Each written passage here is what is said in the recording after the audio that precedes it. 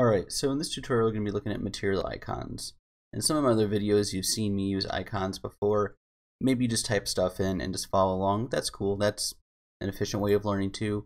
But let's just say you want to use your own icons. What does that look like? Well, you could come in here, you could click filled, outlined, rounded, all this other stuff. And it's going to give you the ability to select what you want, what is needed for your website, your web app. And so let's go ahead and click on this here. So we see that this is the import that we're going to use. Once again, I hate semicolons. Oh, it captured it. I'll have to delete it. And what you have here is the font size small, medium, and large.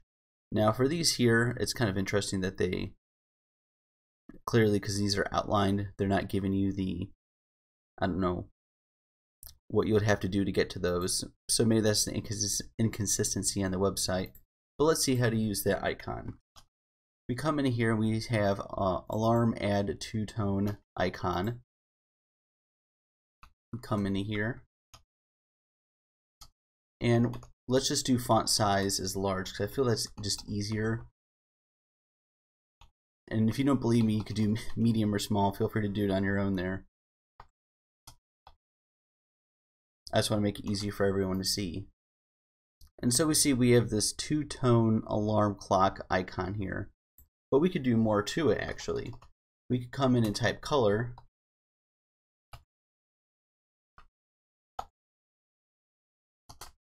Let's see the auto suggestions here. We see action disabled, error, inherit, primary, and secondary. Let's click secondary.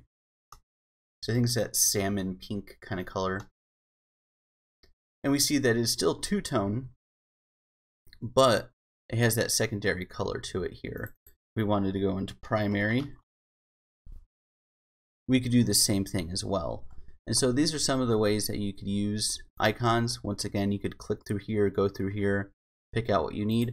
One important note is if you're looking at this and you're part of a corporate environment, odds are your company already has some kind of branding icons, something they use. I know where I work they do. And so unless you get the blessing somehow from business, from whatever team that is, you will most likely not be using these. You'll most likely be using your company's icons, which is just fine because you're going to want consistent branding across each page.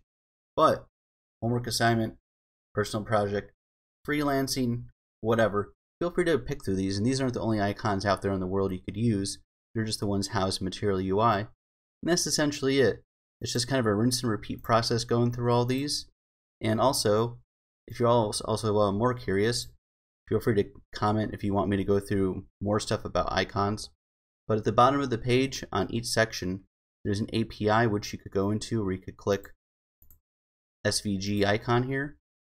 And you can learn much more about the different things that you could do with these icons. So as we saw the color, we have disabled error, inherit, primary, secondary, there's also other things you could come in here and it'll explain, like what is font size, what is the shape rendering, what is the view box, stuff like that. And this is all very, very, very important because sometimes you'll have a requirement, it has to do with an icon, but you have to manipulate it in some way.